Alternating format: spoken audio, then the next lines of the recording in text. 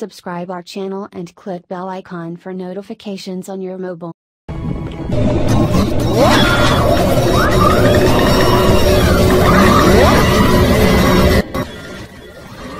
Hi friends welcome to UPH YouTube channel semiconductor devices ఏమిటో ఎలా పనిచేస్తాయో లాస్ట్ వీడియోలో తెలుసుకున్నారు. ఈ సెమీకండక్టర్ డివైజెస్ని పవర్ ఎలక్ట్రానిక్స్ డివైజెస్ అని అంటారు. వీటి వల్ల మన రెగ్యులర్ లైఫ్లో ఎలా ఉపయోగిస్తారో తెలుసుకుందాం. రెక్టిఫైయర్స్ ఇన్వర్టర్స్ చోపర్ సైక్లో కన్వర్టర్స్గా యూజ్ చేస్తారు. ఈ వీడియోలో రెక్టిఫైయర్స్ గురించి తెలుసుకుందాం. మనకు పవర్ జనరేషన్ స్టేషన్స్ నుండి పవర్ ఏసీ ఫామ్లో వస్తుంది. మన ఇళ్ళలో చాలా వరకు ఎలక్ట్రానిక్ ఎక్విప్మెంట్స్ డీసీలో వర్క్ చేస్తాయి. సో మనకు డీసీ పవర్ కావాలి. మనకు వచ్చిన ఏసీని డీసీగా కన్వర్ట్ చేయడానికి రెక్టిఫైర్స్ని వాడతారు. ఈ రెక్టిఫైర్స్ హౌస్ హోల్డింగ్ అప్లికెన్సెస్కి డయోడ్ని ఫ్యాక్టరీ అప్లియన్సెస్కి థైరిస్టర్ని వాడతారు. డయోడ్కి థైరిస్టర్కి డిఫరెన్స్ డయోడ్లో యానోడ్ అండ్ క్యాథోడ్ టెర్మినల్స్ ఉంటాయి. థైరిస్టర్లో యానోడ్ క్యాథోడ్తో పాటు గేట్ టెర్మినల్స్ ఉంటాయి. ఈ గేట్ టెర్మినల్ థైరిస్టర్కి ట్రిగ్గరింగ్ వోల్టేజ్ ఇవ్వడానికి వాడతారు. రెక్టిఫైర్లో టూ టైప్ ఆఫ్ ప్రాసెస్లలో ఏసీ టు డీసీ కన్వర్ట్ చేస్తారు. అవి half wave rectifier process full wave rectifier process. Half wave రెక్టిఫైర్లో high వోల్టేజ్ని లో వోల్టేజ్ ట్రాన్స్ఫార్మర్ అంటే step down transformer diode or thyristor వాడతారు.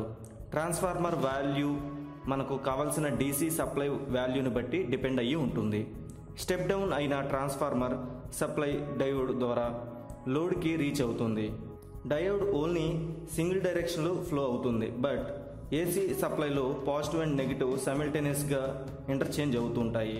సో ట్రాన్స్ఫార్మర్ నుండి ఎప్పుడైతే పాజిటివ్ వోల్టేజ్ వస్తుందో అప్పుడు డయోడ్ క్లోజ్డ్ సర్క్యూట్లా పనిచేసి లోడ్కి వోల్టేజ్ని సప్లై చేస్తుంది. ఎప్పుడైతే నెగిటివ్ వోల్టేజ్ పాస్ అవుతుందో డయోడ్ ఆర్ థైరిస్టర్ ఓపెన్ సర్క్యూట్లా యాక్ట్ చేస్తుంది.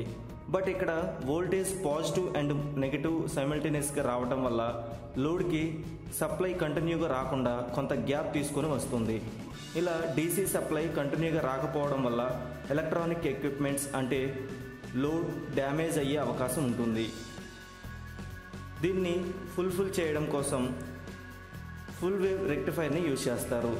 ఈ ఫుల్ వేవ్ రెక్టిఫైర్లు టూ టైప్ ఆఫ్ సర్క్యూట్స్ని ద్వారా లోడ్కి డీసీ సప్లైని అందిస్తారు. అవి సెంటర్ ట్యాప్డ్ ట్రాన్స్ఫార్మర్స్ని యూజ్ చేయడం ద్వారా బ్రిడ్జ్ కన్వర్టర్స్ ద్వారా. సెంటర్ ట్యాప్డ్ ట్రాన్స్ఫార్మర్ ద్వారా అయితే transformer secondary winding equally two హాఫ్స్గా with centre tapped connected చేస్తారు. దీనివల్ల సెంటర్ ట్యాప్డ్ కనెక్షన్ని లోడ్ వన్ సైడ్ ఇచ్చి ట్రాన్స్ఫార్మర్ టూ సైడ్స్ని టూ థైరిస్టర్స్ ఆర్ టూ డయోడ్స్కి కనెక్ట్ చేస్తారు.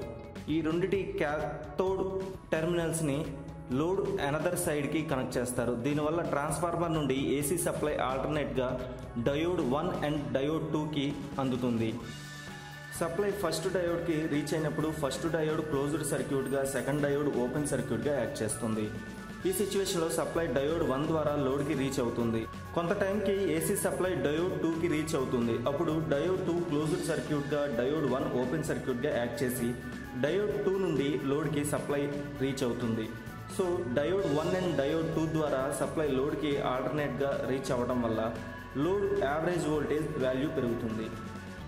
సెంటర్ ట్యాప్డ్ ట్రాన్స్ఫార్మర్ అవైలబిలిటీ లేని పక్షంలో బ్రిడ్జ్ రెక్టిఫైర్స్ని వాడతారు. దీనిలో step down transformer and four diodes ఉంటాయి. అదే ఇండస్ట్రీస్లో అయితే four thyristors or two thyristors and two డయోడ్స్ని based on requirements ద్వారా వాడతారు. ఈ ప్రొసీజర్లో స్టెప్ డౌన్ అయిన ట్రాన్స్ఫార్మర్ వోల్టేజ్ పాజిటివ్ వోల్టేజ్ పొజిషన్లో డయోడ్ వన్ నుండి లోడ్కి సప్లై పాస్ అయ్యి ఆ సప్లై డయోడ్ టూ నుండి ట్రాన్స్ఫార్మర్ సెకండ్ టెర్మినల్కి కనెక్ట్ చేస్తారు. ఎప్పుడైతే ట్రాన్స్ఫార్మర్ సప్లై ఆల్టర్నేట్ అవుతుందో డి వన్ డి టూ నుండి సప్లై అయ్యే power D three and D four గుండా ట్రాన్స్ఫర్ అవుతుంది. ఈ టైంలో డి వన్ అండ్ డి టూలు ఓపెన్ సర్క్యూట్ అవుతాయి. ఈ విధంగా ఏసీ సప్లైని రెక్టిఫై యూజ్ చేసి డీసీ సప్లైగా కన్వర్ట్ చేస్తారు. ఈ ప్రాసెస్లో లోడ్ వద్ద కెపాసిటర్ అండ్ ఇండక్టర్స్ని ఉంచడం వల్ల సర్క్యూట్ మరింత యాక్యురేట్గా పనిచేస్తుంది. Subscribe our channel and click bell icon for notifications on your mobile.